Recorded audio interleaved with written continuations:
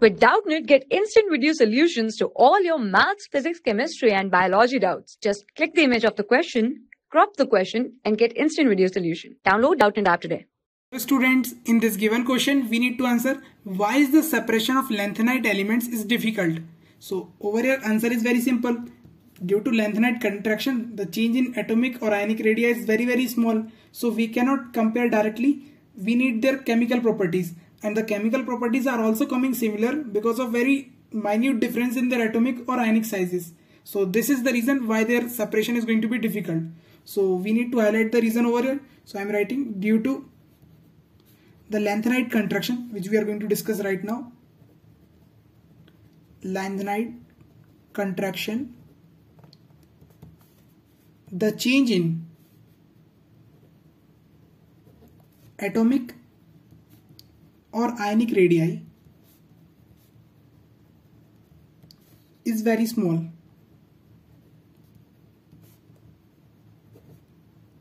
and hence they are having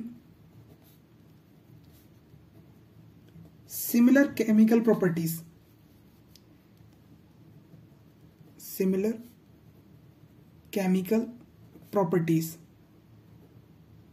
and this is the reason if the properties are same then separation is going to be difficult.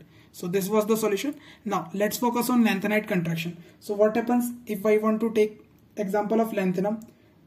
So this is lanthanum i have taken 57 its configuration is what? Xenon. Then comes 5d1 then comes 6s1 sorry 6s2 so this is 57 over here.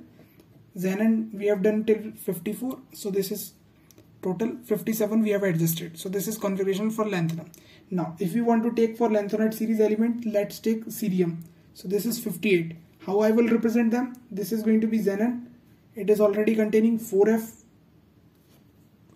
so 4f2 and 6s2 so this is for cerium. If I want to take some other example of lanthanide series let, let's take gadolinium. So this is having atomic number of 64 and its configuration is what? Xenon this is containing 4f7 5d1 and 6s2 so similarly you can write for other elements. I want to explain with respect to these three elements. So over here if we take any of element let's suppose it be x. Here it is the nucleus of that element and it is containing already this 4f subshell. So due to this filling of 4f subshell the effective nuclear charge is going to attract these electrons towards inside. And there is going to be reduction in the size of this element. So elements followed in the lanthanide series are having very very smaller size because of this inner filling of 4f subshell due to which the size reduces. And there is going to be less difference in the sizes of lanthanide series elements because we can see over here the filling takes place in the f subshell. So more number of electrons are being added and shell number is going to be same then correspondingly size tends to be decreasing as we move along the period. So due to this lanthanide contraction which is the phenomena the sizes are nearly same and they are also showing the similar chemical properties due to which their separation is very very difficult. For class 6 to 12, IIT JEE and NEET level. Trusted by more than 5 crore students. Download Doubtnut App today.